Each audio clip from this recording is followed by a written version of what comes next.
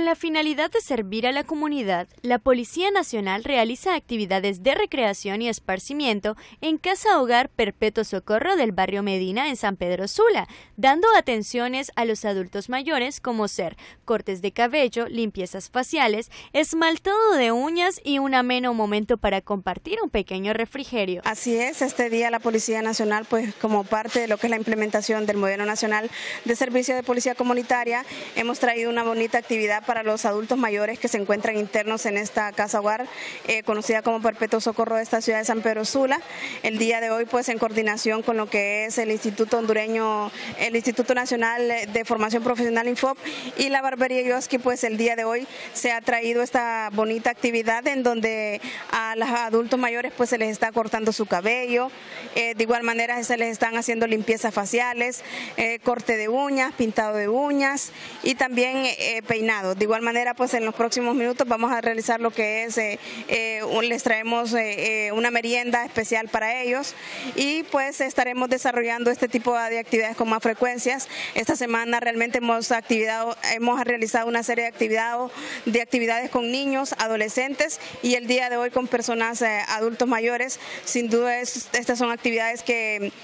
nos complacen como Policía Nacional pues y como seres humanos que somos, ya que realmente pues estas personas eh, necesitan este tipo de atenciones eh, personales, ya que pues carecen de eso, de corte de cabellos y en ese sentido pues también cabe mencionar que traemos algunos médicos para que los atiendan y de igual manera si ellos necesitan algún medicamento nosotros pues eh, se los vamos a entregar porque nosotros tenemos una clínica de la Policía Nacional. En ese sentido pues continuaremos dándoles las atenciones que ellos se merecen a las personas de la tercera edad. Su comisario, ¿de dónde nace o de dónde surge dicha iniciativa? Como le mencionaba, pues esto es parte de la implementación de un modelo de policía comunitaria, ya que pues eh, nosotros somos una policía cercana a la comunidad, necesitamos pues reafirmar ese binomio de policía-comunidad y en ese sentido pues eh, nos hemos acercado a, estas personas pues eh, además de los niños y adolescentes, como les mencionaba, las personas de la tercera edad y pues vamos a hacer con más frecuencia este tipo de actividades. ¿En qué horario se estará realizando dicha actividad? El día de hoy pues comenzamos a las ocho y media, todavía no tenemos conocimiento a qué horas vamos a finalizar porque eh, realmente queremos abarcar eh, eh, un número amplio de cortes de cabello, de cortes de uñas y todos los,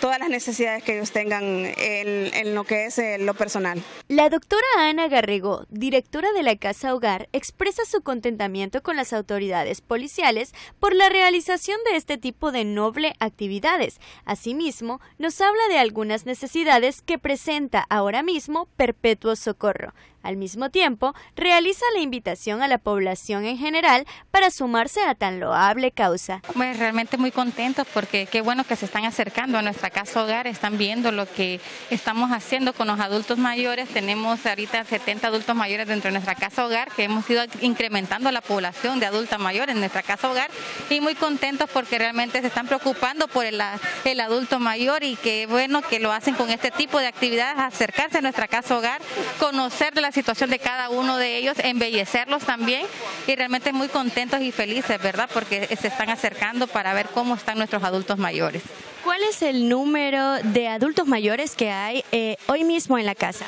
Ahorita tenemos 70 adultos mayores que hemos ido rescatando con junto con la Fiscalía del Adulto Mayor, el cual han, estado en situación de abandono familiar o económico, entonces han ido ingresando poco a poco a nuestra casa hogar. En cuanto al factor económico, ¿cómo se encuentra el centro en estos momentos? Realmente nosotros nos encontramos bajo la administración de nuestro señor alcalde Roberto Contreras, el cual pues él nos ayuda a suplir eh, los medicamentos, eh, medicamentos, eh, alimentos, pero aún así hay otros alimentos que también nosotros necesitamos extra para los adultos mayores y el cual poco a poco vamos surtiendo y suministrando en nuestra casa hogar. ¿Presentan alguna otra carencia? Pues realmente sí, eh, en estos momentos, por ejemplo, los pañales que son de alto costo, pues nosotros nos, nos surge, ¿verdad?, de que ellos tienen que estar con pañales a diario, o sea, hacen dos cambios o tres cambios de pañales a diario, entonces el consumo de pañales es muy alto, elevado para nuestra casa hogar. Eh, algunos medicamentos también que son no son de uso son de uso continuo, perdón, pero que son medicamentos eh, controlados que no los provee ningún centro de salud, pues entonces eso también de un costo elevado, genera un costo elevado, entonces el cual nosotros a veces eh, hacemos ciertas actividades para poder adquirir esos, esos medicamentos porque son adultos mayores, el cual los medicamentos que ellos utilizan son de otro tipo de medicamentos que ya son controlados.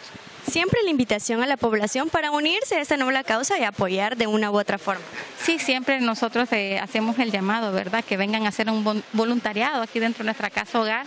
que vean la situación en que se encuentran cada uno de ellos y que realmente nos apoyen realmente porque este, este año nos hemos... Eh,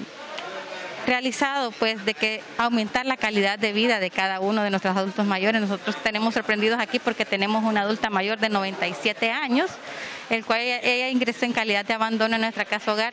y pues le hemos aumentado la calidad de vida a ella. No pensamos que iba a sobrevivir mucho más tiempo y pues esperamos que ella llegue a los 100 con nosotros porque la recibimos de 97, 94 años y ya tiene 97. Entonces hemos visto que hemos aumentado la calidad de vida de cada uno de ellos. En cámaras de Celso Troches y en edición de Carlos Escobar, para Noti6, reportó Crisia Estrada.